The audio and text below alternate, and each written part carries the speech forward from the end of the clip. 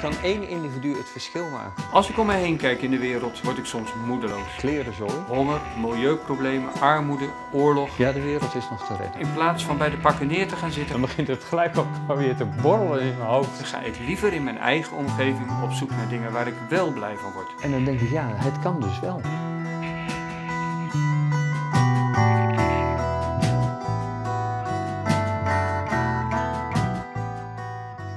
Pieter, waar gaan we heen?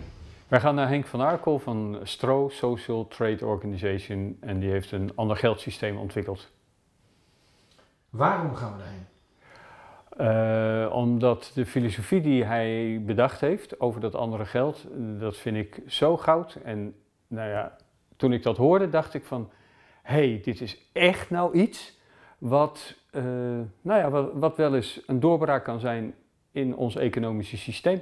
Wat hoop jij vandaag te ervaren? Eh, ik hoop nog beter zicht te krijgen op wat, wat dat ander geldsysteem eh, werkelijk kan gaan betekenen. En, en hoe ver ze daar in feite al mee zijn. En wat hoop je vandaag te voelen? Eh, echt te voelen dat er iets, iets, ja, iets anders aan het ontstaan is.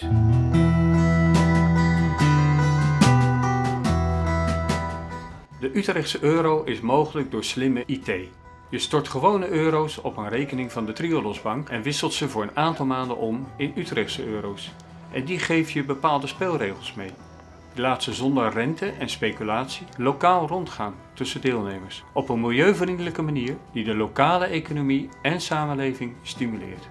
Ons perspectief is, eh laten zeggen, het totale geldsysteem. Dus het is niet bescheiden, gewoon, eh, we willen echt eh, hebben dat dit geldsysteem vervangen wordt. Want het is heel erg slecht voor arme mensen en het is heel erg slecht voor het milieu. Dus daar moeten we af.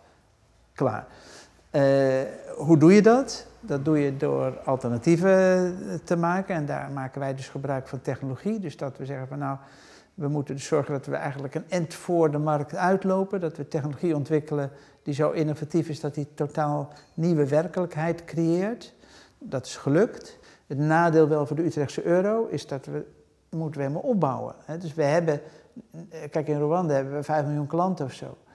Hier eh, hebben we er nu eh 100 bedrijven. Dus dat, voordat we dat hebben uitgebouwd, dat het ook als netwerk goed functioneert, dat duurt natuurlijk even. Henk, is de Utrechtse euro een voorbeeld van Think Global, Act Local? Ja, absoluut. absoluut. Dus, dus je moet de Utrechtse euro, is het leuke ervan, het is gewoon, je doet gewoon zaken met elkaar. En, en je ontmoet elkaar, je vormt een netwerk. En er komt extra kredietkans en extra omzet. Je kan dus ook op die manier uit armoede komen door met die manier met kredieten te werken. Door geld vaker rond te laten gaan. Dus dat is, het is zonder meer eh, de lokale kant voor de mensen die het hier beleven.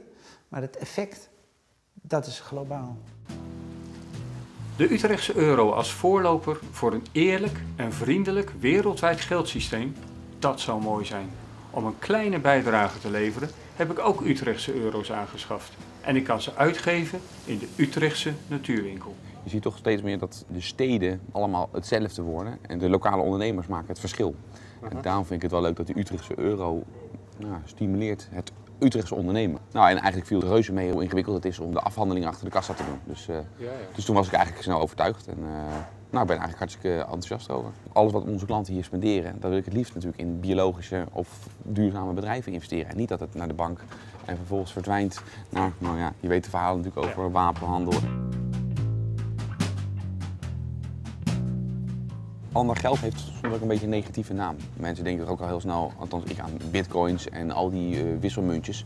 Waar ik zelf het gevoel heb van ja, dat is geldmakerij wat eigenlijk niet geld is. Maar omdat het gewoon gekoppeld is aan de euro en er gewoon Triodos Bank garant staat, nou, begon het voor mij wel duidelijk te worden, oké, dit is echt wel iets serieus. Wat is dit nou anders dan de bitcoin?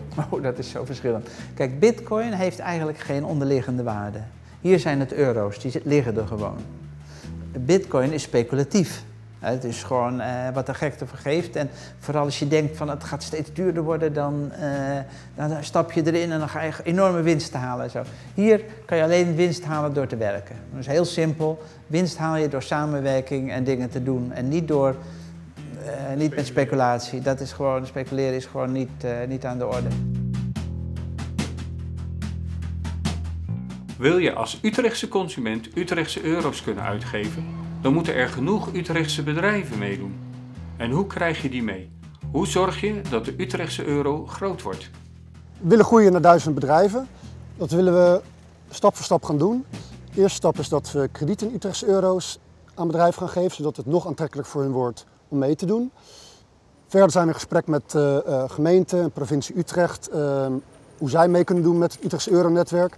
Bijvoorbeeld dat zij hun leveranciers betalen met Utrechtse euro's. Als we dan zo een nou, honderd bedrijven hebben, gaan we ons ook echt actief richten op consumenten. Dit is voor jou een betaalde baan? Ja, nee zeker. Um, ik krijg ook een deel van mijn salaris betaald in Utrechtse euro's. Dat is ook weer een manier om uh, ja, zo'n euro te laten circuleren. Dankzij IT zijn de mogelijkheden eindeloos. Je kunt de spelregels aanpassen aan wat maatschappelijk gewenst is. Je kunt samenwerkingsverbanden aangaan met andere lokale munten en je kunt binnen Utrecht economisch zwakke wijken beschermen. In Utrecht heb je wijken als Overvecht, de Kanaaleiland. Daar rolt het geld heel snel weg. Door het daar vaker te laten rondgaan, ontstaan ook voor de jongeren daar meer kansen. En dat moet je gewoon een samenleving willen. Want het uitsluiten van mensen, dat het geld toevallig wegrolt en dat mensen dus niet de kans hebben om economische dingen te gaan doen, dat is desastreus.